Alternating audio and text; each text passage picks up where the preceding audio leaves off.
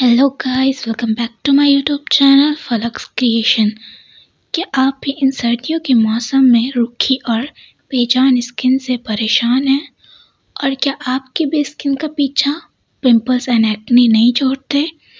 और क्या आप भी इस तरह की फ्लॉलेस एंड ग्लोइंग स्किन पाना चाहते हैं? तो यूज़ कीजिए मेरा personal winter special face mask तो without wasting the time let's get started the video तो सबसे पहले हम एक बोल लेंगे, जिसमें हम ऐड करेंगे डेढ़ चम्मच दही।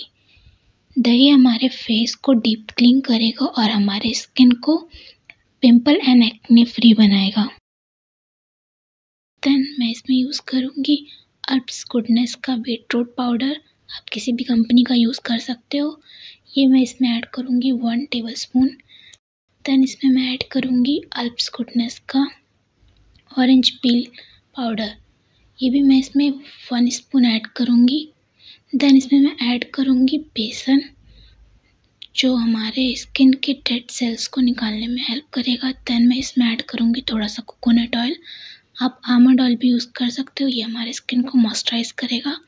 देन इसमें मैं ऐड करूँगी one table spoon rose water और इसे अच्छे से मिक्स कर लूँगी। इसे हमें ज़्यादा थिक नहीं रखना, इसीलिए थोड़ा थोड़ा वाटर डाल के हम इसे अच्छे से मिक्स कर लेंगे। देन इसको हम अपने फेस पे 15 टू 20 मिनट्स के लिए लगाएँगे। देन उसके बाद हम ड्यूक वार्म वाटर से इसे क्लीन कर लेंगे। ट्रस्ट मी गाइस इसके रिजल्ट्स बहुत इफ़ेक्टिव हैं। आप इस फेस मास्क को ट्राई कीजिए और अपना एक्सपीरियंस मेरे साथ कमेंट बॉक्स में ज़रूर शेयर कीजिए।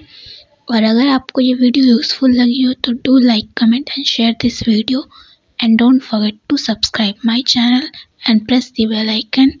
Thanks for watching. Follow for more.